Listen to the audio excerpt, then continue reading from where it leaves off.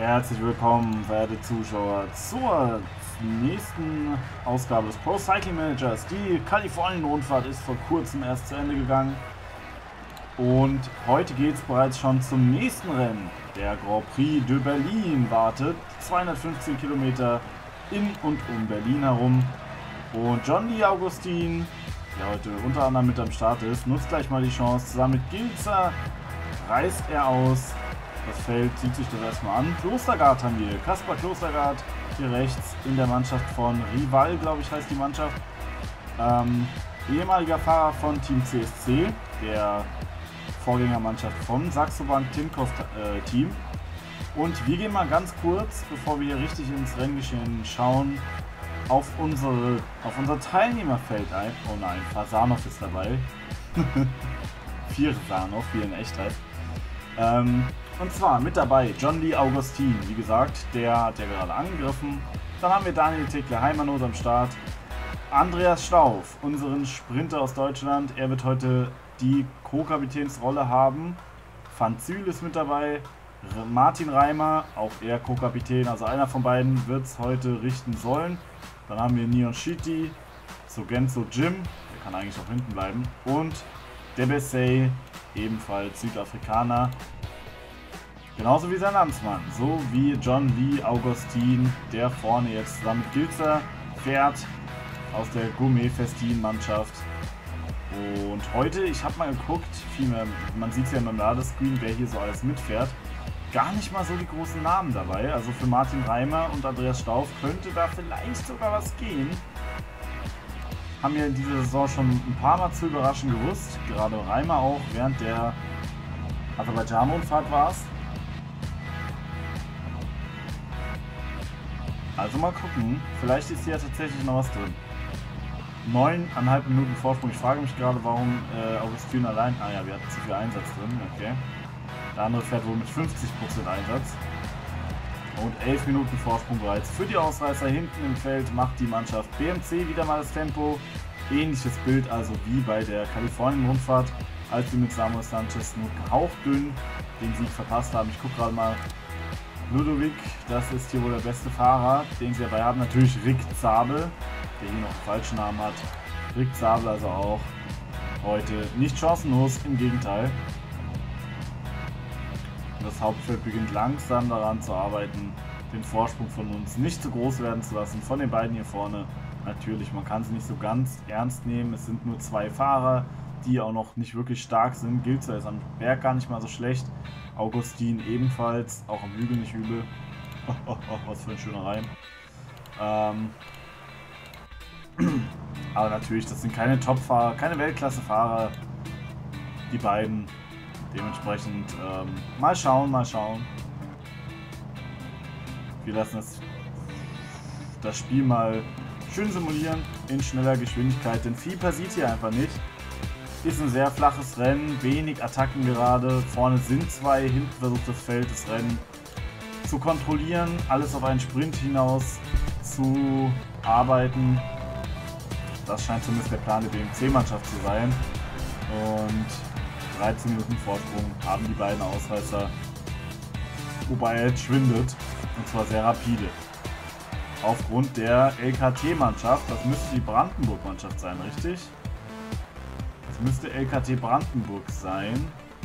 Hier sind sie auch, ja. LKT Brandenburg mit Stefan Schäfer, guter Sprinter, und Willi Willwohl, ebenfalls guter Sprinter. Und die haben natürlich ein riesiges Interesse daran, hier gut aufzutreten, denn Brandenburg ist ja, ne, ist ja die Ecke Berlin. So gesehen also hier das große Heimrennen wahrscheinlich für diese Mannschaft. Und drum wollen sie heute auftrumpfen. Kessler ist es, der die Nachführarbeit macht in erster Linie. Und wir gucken mal trotzdem natürlich, was Reimer und was Stauf heute leisten können. Ich bin sehr darauf gespannt. Und ah, vielleicht kommen die beiden hier vorne ja doch durch. Ich habe den Einsatz von Augustin jetzt mal ein bisschen erhöht. 100 Kilometer sind noch zu fahren, der Abstand immer noch bei 6,5 Minuten, aber das Feld hat jetzt auch wieder ein bisschen rausgenommen. Aber man hat ja gesehen, wie schnell dieser Abstand geschmolzen ist. Gerade eben waren es noch 13 Minuten und da haben sie da hinten ein bisschen Gas gegeben.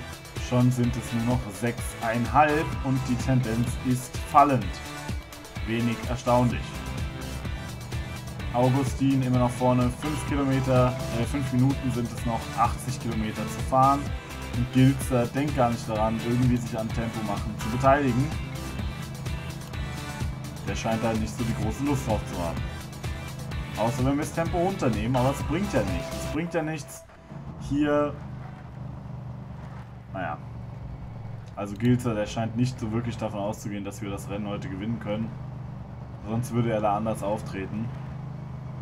Der Abstand nur noch 3 Minuten groß. 50 Kilometer sind es noch bis ins Ziel. Und komm, wir versuchen mal die Attacke mit John Lee Augustin gegen Gilzer. Bin mal gespannt, ob das klappen kann. Und der Slowene fährt da erstmal nicht hinterher. Aber jetzt versucht es natürlich mit aller Gewalt.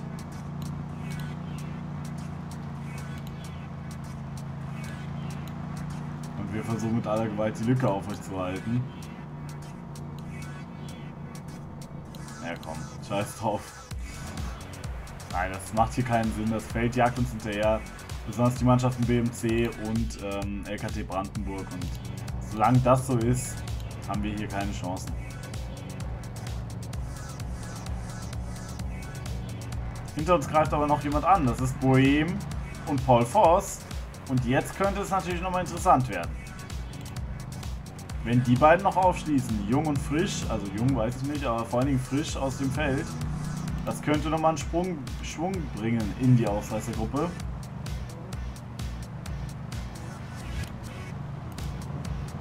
Und Paul Forst setzt sich hier gleich mal an die Spitze des Feldes. Gilzer greift an.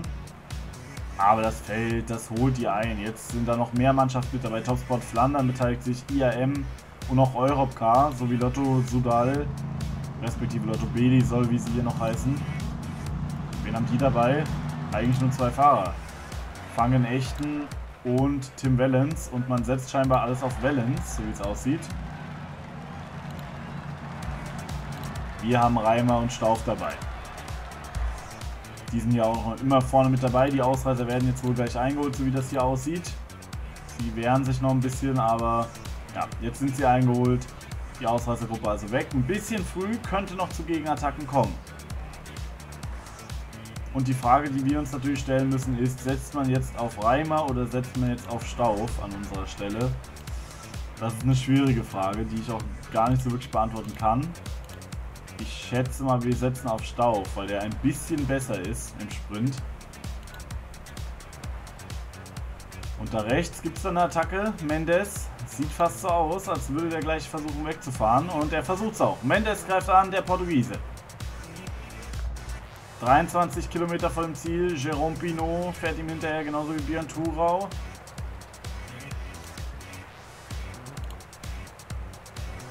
Und auch Johann van Zyl soll jetzt mal ein bisschen was zeigen. Wenn er kann, bitte.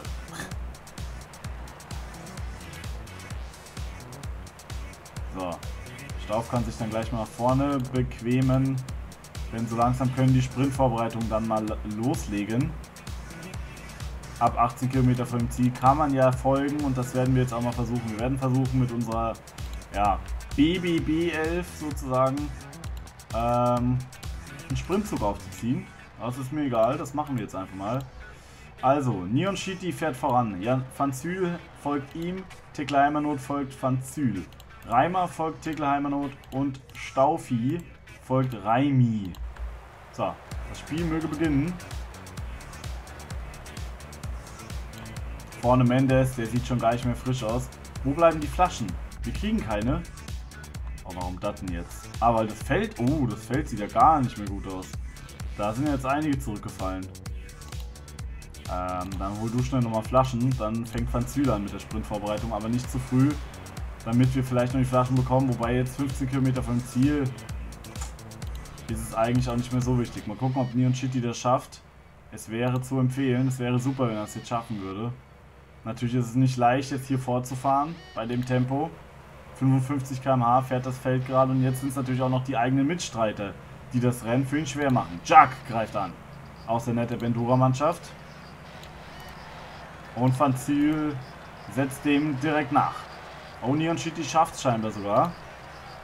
Sehr stark vom Un äh, nicht Ungarn, sondern Ukrainer natürlich. Komm, komm, komm, komm, komm, fahr, fahr, fahr, fahr, fahr. Ne, es ist kein Ukrainer, es ist irgendwas ganz anderes.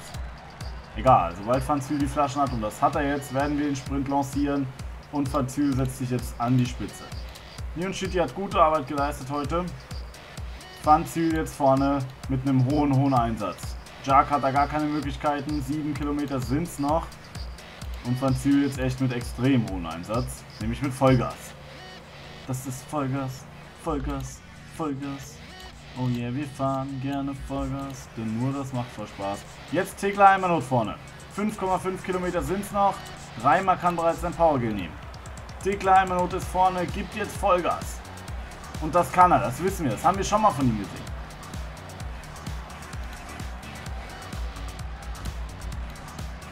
Jetzt Reimer. Reimer fährt nach vorne und Stauf kann jetzt auch schon mal seinen Gel nehmen. Ich hoffe, das klappt. Ich hoffe, das klappt. Wer ist da noch am Hinterrad? Das ist Ludovic. Und Reimer kann schon mal den Sprint beginnen. Stauf natürlich an dessen Hinterrad. Muss dranbleiben, muss dranbleiben. Darf nicht zu früh rausgehen. 2,3 Kilometer sind es noch. 2,1, 2,2.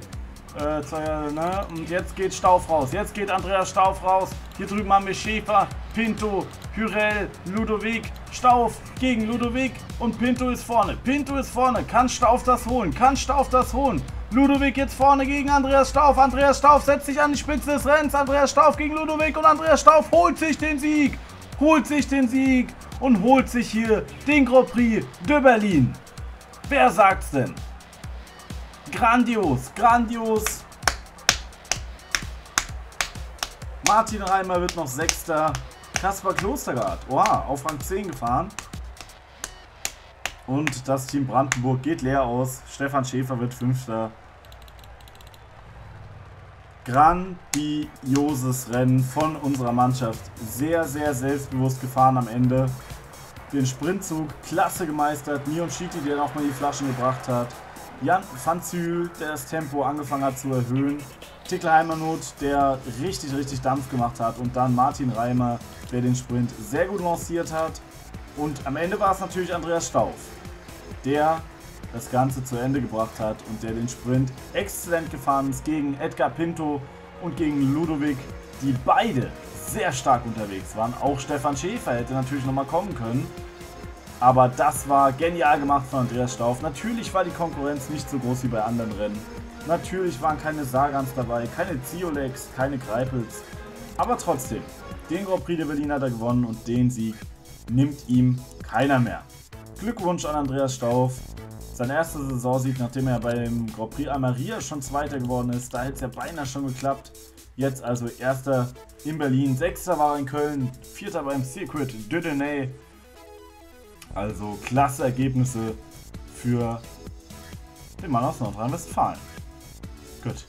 Und dann war es das von dieser Folge des Pro Cycling Managers. Ich bedanke mich nochmal fürs Zuschauen und bis zum nächsten Mal.